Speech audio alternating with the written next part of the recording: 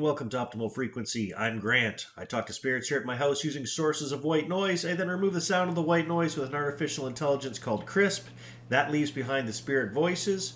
I can also use this, as I'm going to do today, to clean up some audio that was uh, a 911 call. If you watched the part one that I made a few days ago, um, I'm listening to a 911 call from Shannan Gilbert from 2010. Uh, this was released to the public. I'm cleaning it up. I'm listening for some spirit messages, and I am also listening to see if there's any information we can pick out of there that wasn't uh, maybe known before we listen to it.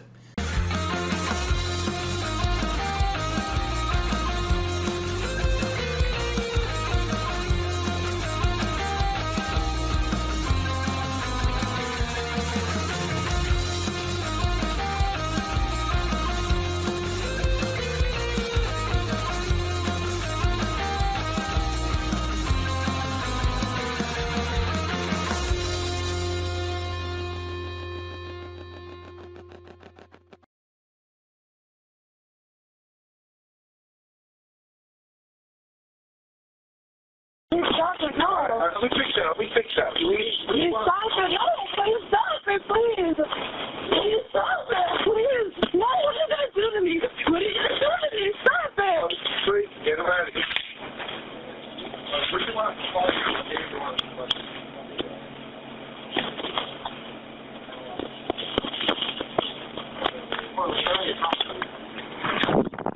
Please stop it. No. Uh, we fix that. We fix that. We, we, Please stop it. No, please stop it, please. Please stop it, please. No, what are you going to do to me? What are you going to do to me? Stop it. please, get him out of here. Uh, what do you want? Call you. Dave, you want to-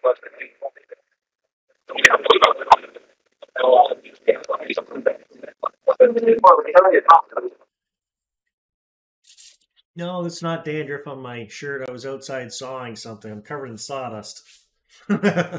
Anyways, I just wanted to let you know because as I was working on this, I said to Robin, hey, you should check out this video that I made a couple days ago because she hasn't seen it. She didn't know I was working on it. And uh, check it out and let me know what you think about listening to this 911 call. Then she reminded me, this is crazy, I know, but we watched a movie, I don't know, month, two months ago. I completely forgot watching it, but I didn't put it together. It was about this girl. This very girl. If you go to Netflix and you watch Lost Girls, is a story about Shannan Gilbert. And Robin had to explain it to me and say, Remember that movie we watched about the girl? And then I'm like, Well, I do vaguely remember watching something. She goes, Yeah. She goes, It's that girl. So if you want to know more about her story, watch that movie. It was interesting.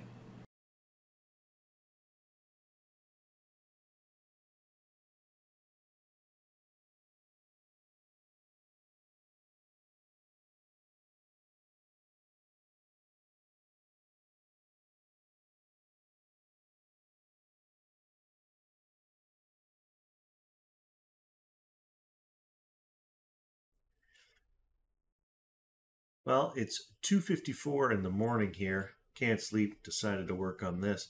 I think I may have just heard a name. This goes back to my smoking days. this caught my attention. So I'm having troubles with this uh the layered voices because of the woman that's the state trooper. She keeps grabbing her microphone. Now, I worked in a call center for many years, so I know how this works. Uh, but she keeps grabbing her microphone and turning and talking to the person beside her, and they're trying to decipher, you know, where's this girl? But they've just added a bunch of junk into the recording that makes it a lot harder to hear what's going on in the background, as if it wasn't hard enough to begin with. But I'm pretty sure I hear the one guy say he needs a light. He says a name. So this may be another name of someone who was actually there that night. And he says, the second guy says, I need a light, as if for his cigarette, right? That's what I make of this. Have a listen. Mike, people got. And Mike too. Mike, people got. Come down and Mike too. Why?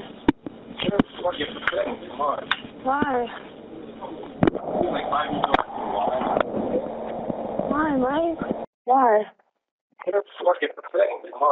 Why, Mike? Why? Why?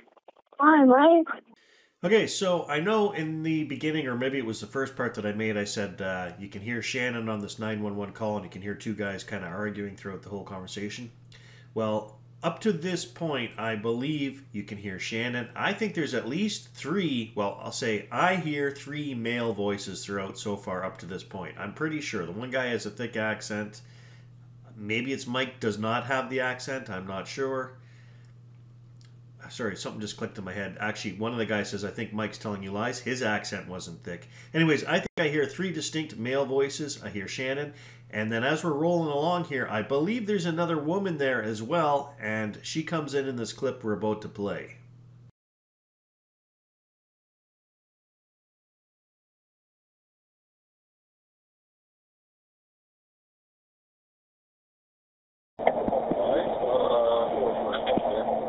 I'm fine. Please? Never gonna enjoy it again.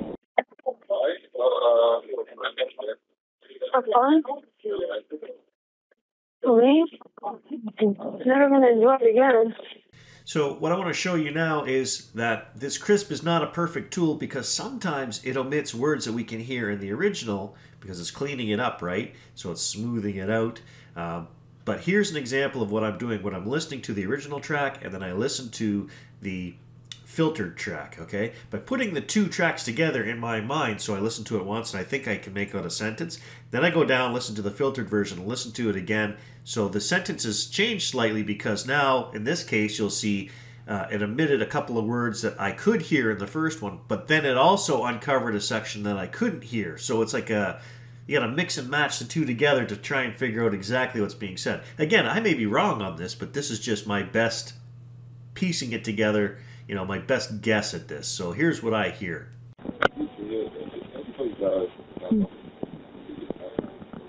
Right, please.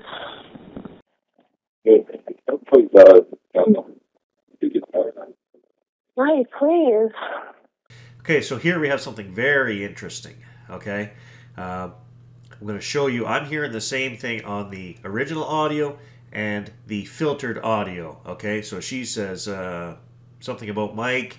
Uh, there's a pause. Now the guys have gone outside. It seems like KRISP is having a harder time of catching, uh, you know, the words that they're saying because they're so far away and their voices are really muffled. Unless they yell louder back to her, then I'm able to hear what they're saying on the uh, filtered version. Um, but again, I'm hearing the same thing on the original and the filtered, and it says something about you will die or people die. Something about dying, okay? Which you could dismiss and say, well, maybe you're not hearing that right or whatever. Except something interesting happens after that. The dispatcher comes on in her muffled voice. She's still talking to her colleague. Now, I'm going to play this for you. I'm going to play the filtered version just because it's cleaned up and you can hear it better, and I don't want to play it twice.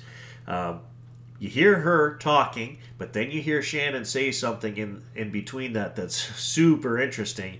And she was probably tipped off because she was there. She could hear them outside talking, thus proving what we hear here in the two things about people die or you will die. I think Shannan heard that too, and then she makes a statement.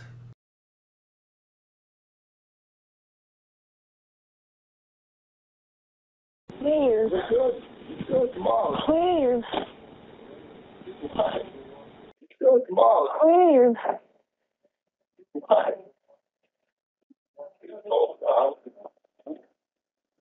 So there's something that's in, I don't know what phone she's calling from, but I can't Let me see tell where you. where where she's coming from.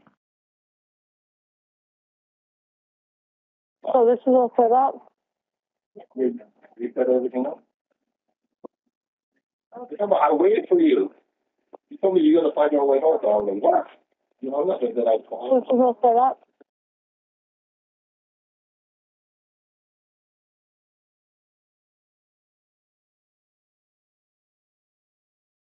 What happened? These people are plotting to kill me. Where are you? What's your address? What's your address? Oh, Mike, Mike, stop, come here. Mike, stop. Mike, stop, Mike. Mike, stop. Where are you? Mike, Mike, stop it. Mike, stop it. You guys are planning something. Mike, Where are you? Mike, I'm fine, then why, why are? Are you in the house? yeah. Mike, stop it. Yeah, Tony. Where in Long Island are you? I don't know. They're gonna tell me. Are you in a house? Who is Mike? What's his last name? Mike what? What's his last name? What's his last name? What's his last name? What's his last name?